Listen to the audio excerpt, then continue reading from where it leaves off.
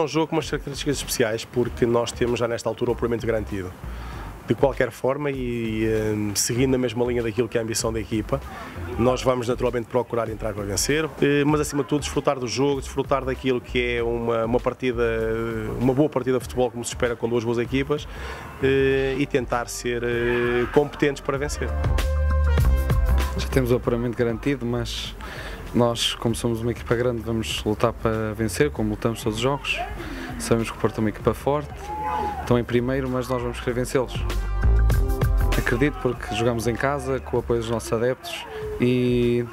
com eles nós vamos ser mais fortes e vamos conseguir vencer. Conseguimos 10 eh, pontos nesta altura de vantagem para o terceiro classificado e acho que é um mérito tremendo que nos deu muito trabalho, exigiu muitos sacrifícios de nós também.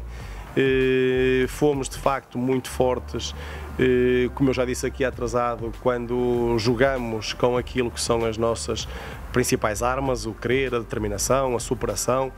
Eh, e portanto estamos nesta altura muito satisfeitos. Agora a ambição não pode ficar por aqui, aquilo que é o Braga não pode ficar por aqui e vamos agora procurar acabar esta segunda fase com,